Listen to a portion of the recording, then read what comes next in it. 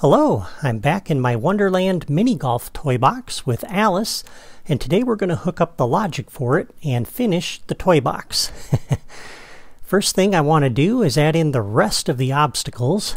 I added in some of them during the build exercise, like the terrain slopes and the hedges, but now I want to add in the rest of the obstacles. And we're going to begin on hole number two with the pendulum. And I've kind of dropped these ahead of time just so I don't have to scroll in the drawers so much. But this one you'll find it's under the platforming toys. This needs to sit right down here in front of this door like that. The problem you'll notice is that it's hitting that little fence over there on the side. And so temporarily you're going to need to move this little fence out of the way. And once we put the pendulum in place, then we can put that back. So like that.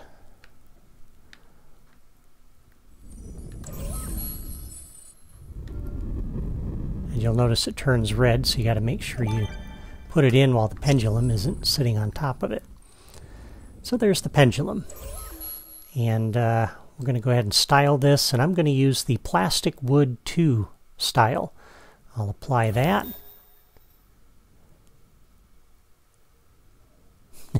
there it goes. I just think that matches the look of the cottage pretty well.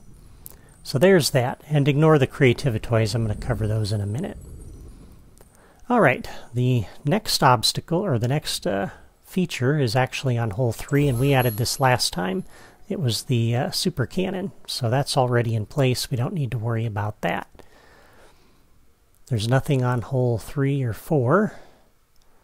Now hole number 5 we have some sweeper bars. And we pick this up. Again, this is underneath the platforming toys. It's the rotating spike. And let me pull up my screenshots here just to make sure I put these in the right places like I had them before. This is going to sit in here just like that, as close as I can get to that wall. And it's on the first terrain block here on the hole. The next one is going to sit over here, uh, about like that. I'm going to rotate it, and that's about as close as I can get to that wall. And I'm rotating it so that when the toy box loads, the, they won't be oriented exactly the same way. And then we'll flip this back for the last one, which is going to go over here on this terrain seam on the right and as close as I can get to that wall. So that's where the sweeper bars go. All right, the next obstacle is on hole number 8, and it's King Candy moving along this path. And I've already placed the path here. The path starting point is lined up with the edge of this terrain, and it's about halfway between the edge of this terrain block and this terrain seam. So that's about where I've placed that. And then the second path point is lined up over here with the edge of that. Again, I dropped this ahead of time to save time. For the properties, you're going to set it up like I have here, with active on, speed is 50, looped and rail slider off, auto start objects when connected, leave that on. Alright, and King Candy, you'll find him under the set pieces. He's the King Candy Cybug. He's unlocked through the um, Toy Box Speedway game. So we'll drop him down. And open the logic menu for him. We'll do a new path connection. Toy Box path. And he immediately starts moving. But we'll open the logic menu for him.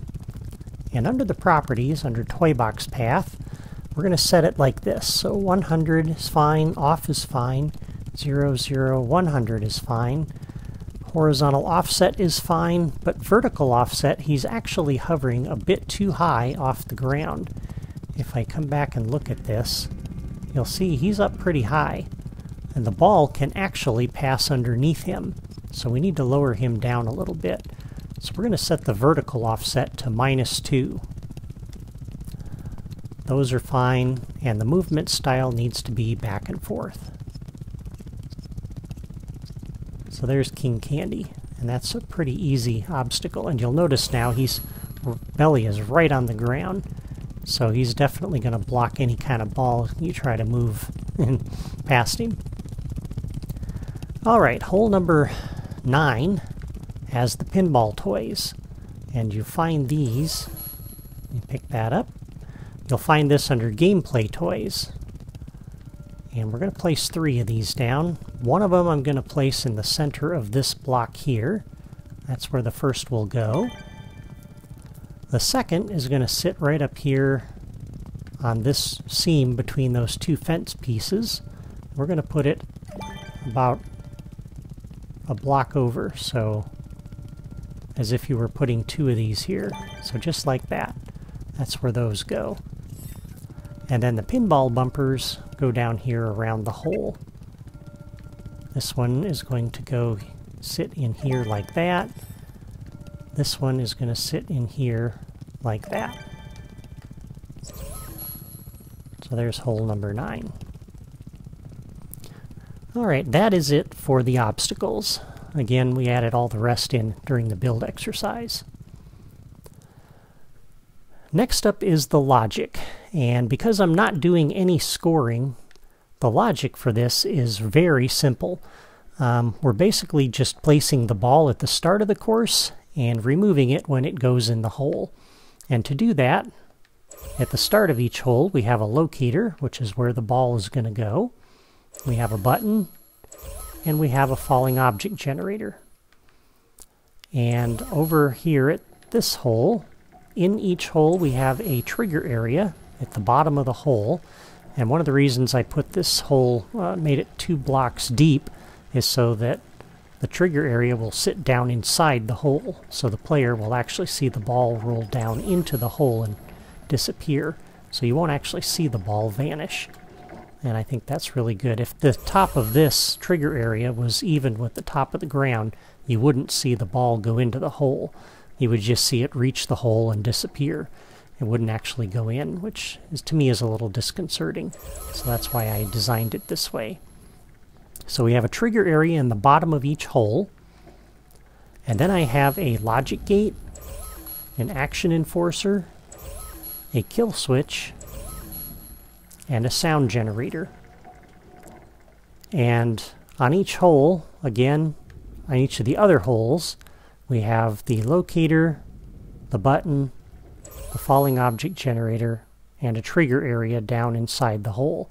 And you'll notice there are no creativitoys around any of the other holes because they all do the same thing. And so I'll show you how to hook them up one time and you can do this for the rest of the holes. Alright, so for the falling object generator, every hole has its own, so you're going to do this for every hole. So the falling object generator, you're going to connect that to the locator. And I'll show you the locator and button placements here in a moment. And there are no properties on this, so you're good to go there. So you connect up the locator, and then you connect up the button. So a new logic connection when pressed. Come up to the falling object generator, and you're going to generate the ESPN golf ball. And there you go.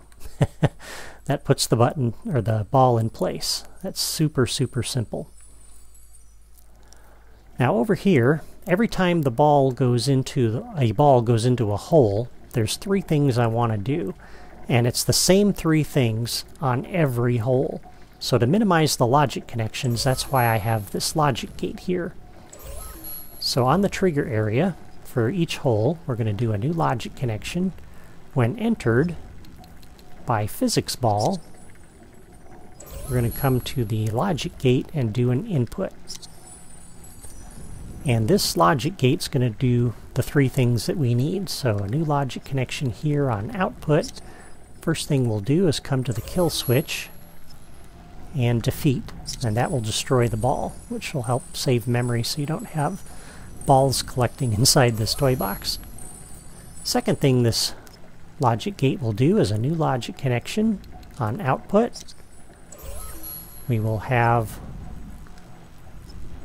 the triggering player celebrate, and that sometimes works and sometimes doesn't. It's probably better just to have all players celebrate. And then on the logic gate, new logic connection on output, come over here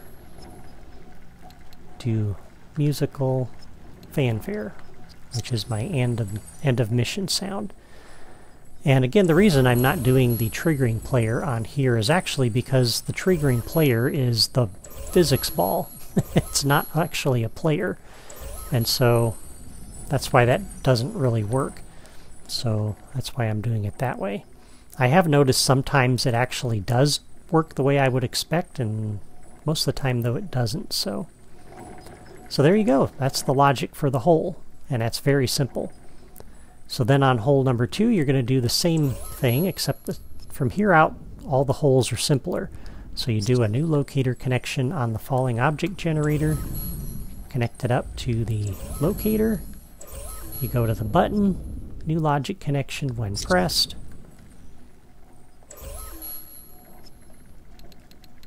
generate the golf ball, and then thirdly you come over to the trigger area.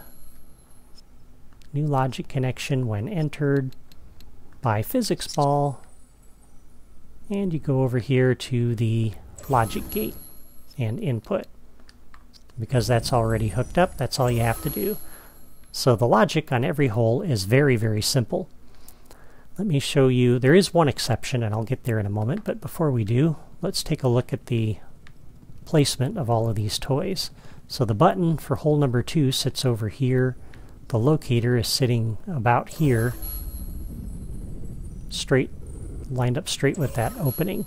And you'll wonder maybe why it's not back here further. It's mainly because the camera will hit this thing if you back this locator up too much. So that's why it's over here in the middle of the block. And by the way, this one is located in the middle of that terrain block. And you can see where the button was there. Hole number three, the locator's in the middle of that terrain block. The button's over here in that corner.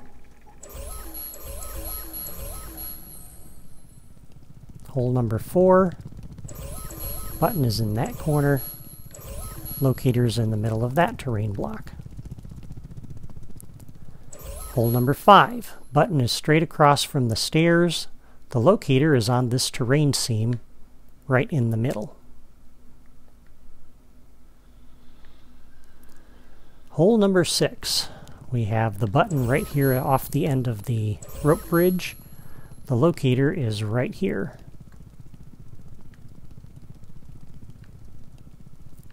And this is the hole that's a little bit different. I'm going to come back to this in a minute because we have the enemies here. All right, hole number seven has the locator in the middle of that block with the button over here. Number eight has the button here in this corner, the locator oriented like that, right in the middle this way, in the middle like that. hole number 9. Locator's in the middle of this block, and you see where the button's put, placed. And in this one, the button is off of those stairs, and this locator is right in the middle, going that way, and it's lined up about like you see it there. So that is all of the locator and button placements. Now, hole number six, again, is a little bit different. So what you're going to do over here, this button has to do two things. So just like always, for all of the other holes, you're going to connect this up to the locator. You're going to connect this up to the falling object generator.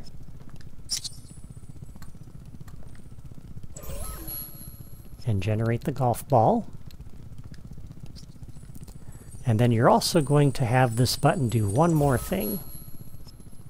New logic connection when pressed. We're going to come over here to our enemy wave generator and generate the wave. And I've got four locators back here up against the wall. And the locator placement doesn't really matter. And I've connected them all to my enemy wave generator with the new locator connection uh, uh, option. The wave is configured with two Soldier of Clubs and two Soldier of Hearts enemies. And the properties are set up this way.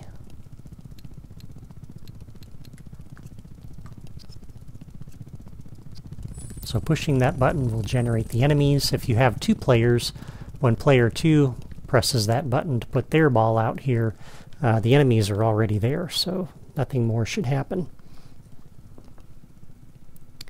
And once you finish hooking up the other holes, and all the holes are hooked up, then you can move all of these Creativitoys down below the terrain out of the way. So we can put that down there. You can put these four toys down below as well. And then once that's done, you'll be all finished. And that's all there is to this toy box. It's one of the easier toy boxes to build, and I hope you'll enjoy it. Let me know what you think when you get a chance to play it for yourself. Since this little mini-series ended up being a bit shorter than I expected, and because I'm still tweaking Frontierland, which is the next area I'm going to do in my Disneyland series, and I'm not yet ready to begin that. I'm going to do another short series of videos starting Wednesday. As I mentioned in episode 1, I've been experimenting a lot with the sports toys, so I'm going to show you some of my other sports games that I've created. Each episode in this next little series will be a standalone episode. I'll demo the game and show you how to build it in the same episode, similar to what I did for my Bantha Ball video. I think you'll like some of these games, and they'll hopefully give you some additional ideas for building your own sports games. Before you go, I want to remind those of you who are building this on your own systems that I have logic diagrams on my blog that will help you out. The link is in the video description. You can also subscribe to my channel by clicking my photo in the lower right corner. Take care.